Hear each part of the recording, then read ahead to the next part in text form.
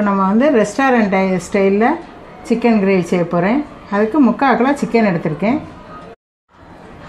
இப்போ இதில் ஒரு மூணு நாலு கிராம்பு மூணு ஏலக்காய் ஒரு பட்டை.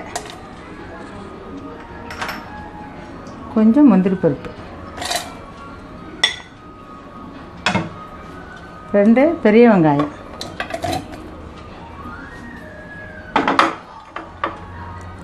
ஒரு மூணு தக்காளி.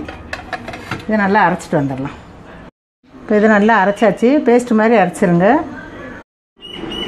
இப்போ இதில் ஒரு மூணு டேபிள் ஸ்பூன் எண்ணெய் ஊற்றிக்கோங்க. ஒரு கடாயில். கொஞ்சோண்டு முந்திரி பருப்பு. கொஞ்சம் கருவேப்பிலை. ஒரு பிரியாணி இலை. ஒரு நாலு மிளகாய் சீரி வச்சுருக்கேன். அது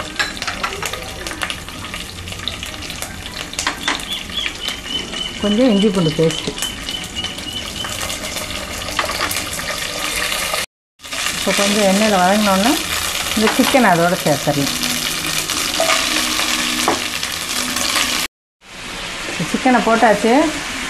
கொஞ்சம் நல்லா இந்த சிக்கன்லேருந்து தண்ணி கொஞ்சம் பிரிஞ்சு வரும். ஒரு ரெண்டு நிமிஷம் நல்லா மூடி வச்சிடும் இப்போ சிக்கனில் ஒரு தண்ணி நல்லா பிரிஞ்சு வருது.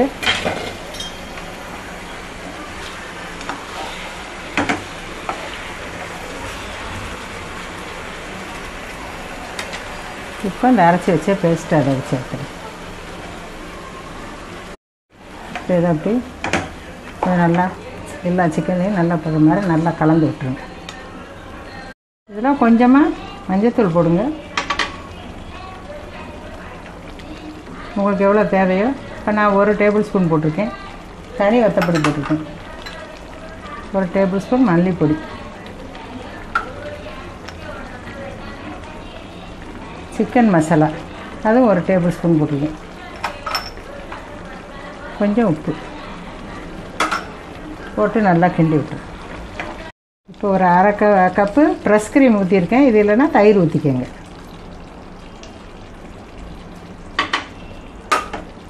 கொஞ்சம் கரம் மசாலா.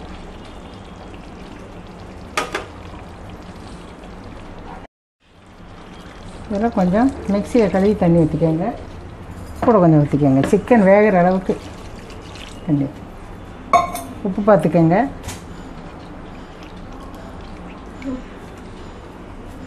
கொஞ்சம் மூடி வச்சுருவோம். கொஞ்சம் நேரம் சிக்கன் வேகட்டும். இப்போ நல்லா சிக்கன் வந்துருச்சான்னு பார்த்துக்கோங்க. சிக்கன் நல்லா வந்துருச்சு. இந்த ஸ்டேஜில் கொஞ்சமாக மல்லி போட்டுக்கோங்க.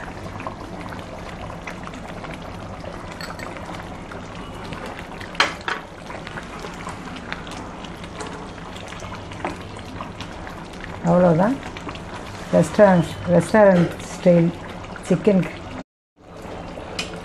மல்லியில் போட்டாச்சு அடுப்பு ஆஃப் பண்ணிடலாம். அவ்வளோதான் restaurant style chicken gravy ready சூப்பராக இருக்கும். நீங்களும் செஞ்சு பாருங்கள்